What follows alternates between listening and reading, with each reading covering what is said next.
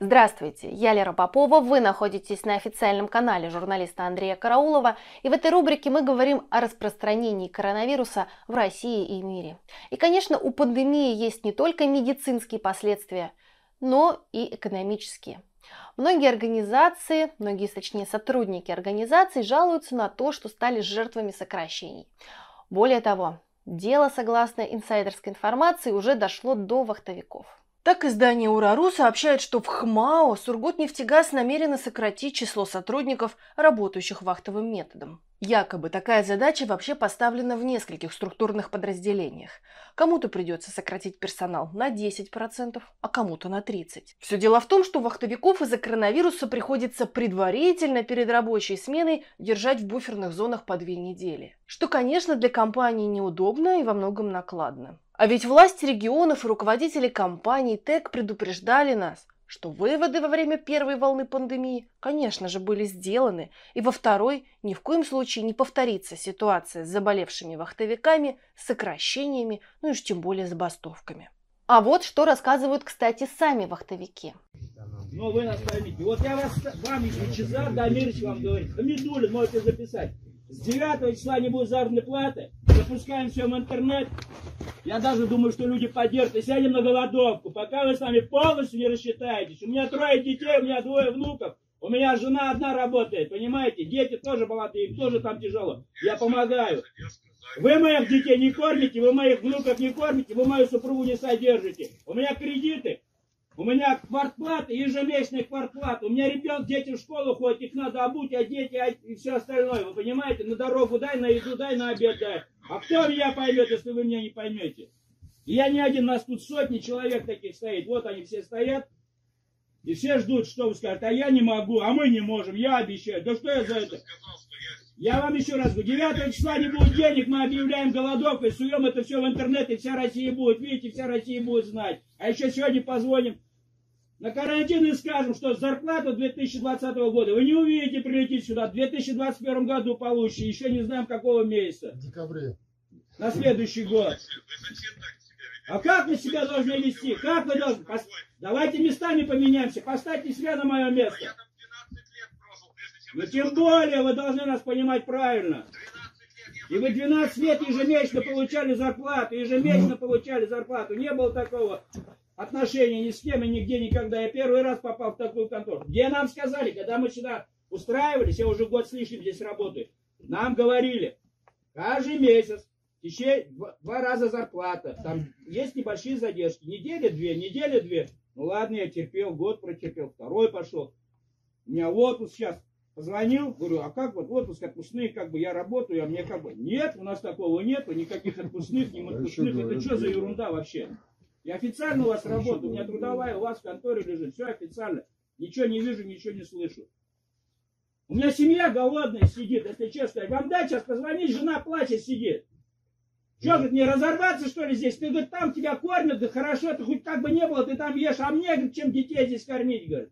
Суть в том, что на днях сотрудники Роснефти пришли в офис подрядчика ООО МК Групп, чтобы поговорить с руководством из-за задержки зарплат. Менеджеры отказались брать на себя ответственность, поэтому диалог с кем-то из администрации провели по телефону. Сколько и за какой период подрядчик Роснефти задолжал вахтовикам, пока неизвестно. Кстати, день ультиматума, который заявляется в ролике, это 9 декабря, уже настал. Мы обсудили с экспертом, как возможно хотя бы на данном этапе бороться с начальством и все-таки выбивать положенные по закону деньги, даже если увольнения избежать не удастся. Я считаю так, что, конечно, ни в коем случае поддаваться на э, требования, на угрозы работодателя нельзя.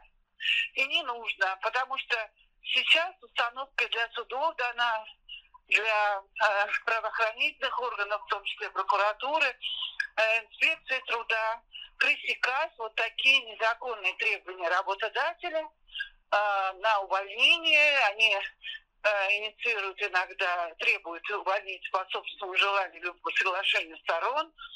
Э, и если они сейчас подадутся, э, то работодатель даже вот как бы с учетом вот ситуации, да, скажет, ну я же не могу запретить ему уволиться, когда он захотел. Он захотел уволиться, уволился. Я его уволил, я обязан уволить, если человек требует. А то, что при этом вот такие угрозы идут, значит, вот пусть он не подается. Ни в коем случае готовикам посоветуйте э, ни в коем случае не писать заявление, ни в коем случае не соглашаться увольняться по соглашению сторон.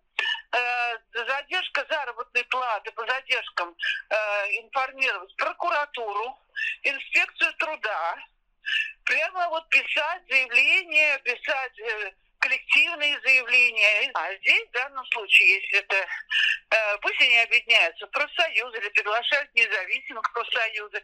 Э, знаете, что не обязательно Федерация независимых профсоюзов надо туда идти. Хотя можно и туда, и ничего страшного. И Федерация защищает больше даже сейчас активнее. А вот если независимым профсоюз, то им надо много платить, а здесь короче говоря, дешевле будет. Вот. Ну вот таким образом обязательно ни в коем случае это провокация, вызванная вот действительно с пандемией, там э, надо на удаленку переводить, как вахтовиков на удаленку. Сейчас новый закон об удаленке приняли, вы знаете, да, Путин да. подписал. А, вот, э, там дается право уволить, если человек не хочет на удаленке. И работодатель может уволить э, человека, если он отказывается, либо э, каким-то причинам не выходит на связь больше, чем два дня. Но здесь получается по новому закону, вот и для бахтовиков, я сразу говорю, да, э, что им, э, конечно, удаленку их не переведут. Ясное дело, что они так и будут на вахте. Но, смотрите, значит, если э, при этом им нельзя на удаленке работать, а работать в условиях, э, которые вот сейчас вызваны с пандемией, то есть они все равно должны быть, да, э, нельзя, значит, получается, что работодатель, э, так э, в новом законе написано, обязан платить э, работнику не меньше, чем две трети от, э, с, э, от тарифной ставки должностного оклада. Ну, вот у них тарифная ставка какая-то все равно есть у, у вахтовиков, точно. Ну, две трети, но это немного, но все равно они будут получать, ну, не меньше. В любом случае размер будет не меньше, чем прожиточный минимум в субъекте, это однозначно. Поэтому вот надо соглашаться хотя бы вот так.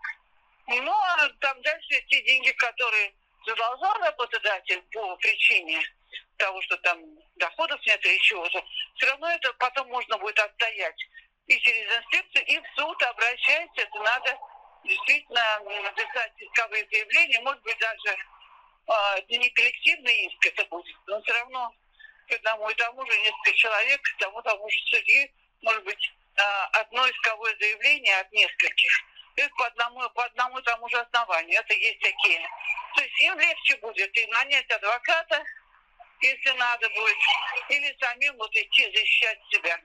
А вот, вот я хотела бы еще уточнить, Марина Олеговна, вы сказали, что все равно люди какой-то прожиточный минимум должны получать. Вы имеете в виду это в тех ситуациях, если их на вахту не вызывают, и они находятся как бы в простое, в свободной вахте? Да, да, по-любому они получат э, заработную плату, но они тогда просто должны заявить в орган занятости, что они находятся э, в простое, не по вине работодателя, конечно, э, да, но вот и их не вызывают. Но вот в любом случае работодатель платит какую-то часть, если ее не хватает для прожиточного минимума, органы занятости должны будут их э, как бы взять тоже на учет и доплачивать вот до этого прожиточного минимума. Что удивляться недовольству вахтовиков, если даже медики устраивают до сих пор бунты? Этой информацией поделились с нами наши подписчики. Суть в том, что в женской консультации Салаватского роддома 3 декабря произошла словесная перепалка, сейчас вы увидите эти кадры, между представителями администрации и медиками. Причина конфликта – отсутствие ковидных выплат. Ну, в общем-то, смотрите сами. Значит, мы хотели по-хорошему прийти совместными усилиями с вами, с вами, с главным врачом, подумать, какие шаги мы могли бы сделать совместно, через федеральную помощь, через Минздрав России вы не хотите нормального диалога, как я вижу с ваших действий. Я не хотел этого, поверьте Богу. Я не хотел этого. Вот потому что, потому что вы ваши действия привели, я не хотел этого делать. Но нам это придется делать. Вот у нас, вот извините, пожалуйста, вот вы администрация, да, у нас вся гинекология переболела этим ковидом. Тяжеленные были больные, это самое, сотрудники, да, сейчас им предлагают, предоставьте, пожалуйста, больных, которые у вас здесь были. У нас ни один анализ цитовым не брался. Нам никто не давал ни одного реактива. Не разрешали брать анализы. Сейчас вы не хотите выплачивать. Как мы должны сам не возмущаться? Напротив, вас же просят подтвердить, что вы... Чем мы должны подтвердить? Вы же не давали нам тесты. Вы не давали нам Вы мне не даете ответить. Ни одного анализа мы вам дадим ответить. В целях страховой выплаты которая предусмотрена указом президента, 68 тысяч. Необходимый по перечню документ собрать и сдать. Какие документы? Фондом вы знаете, а вы знаете, как процедура выглядит вообще? Вы некомпетентный юрист? Нет. Вы знаете, как процедура выглядит по 313 указу? Больница должна Не подать экстренное сообщение. Это не И, 313. и эпид расследование провести. А какой? Никто ничего не Какой? проходил. Указ номер 313. И распоряжение правительства номер 1272-Р.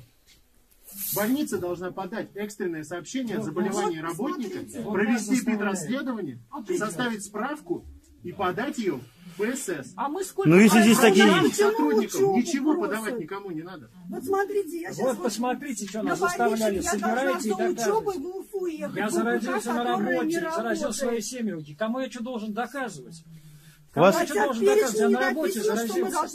Антон если Евгеньевич, Ну, если здесь такие юристы, если глава юридической брать. службы здесь такой, что даже элементарные приказы не знает, это вообще какой-то бред. Запрещали брать анализы нам в августе, в сентябре. Не давали. Запрещали. Главный врач. Что, нам говорили, что нет у нас якобы этих расходных материалов. У нас нет А нас расходных? А материалов. вы заражаетесь так.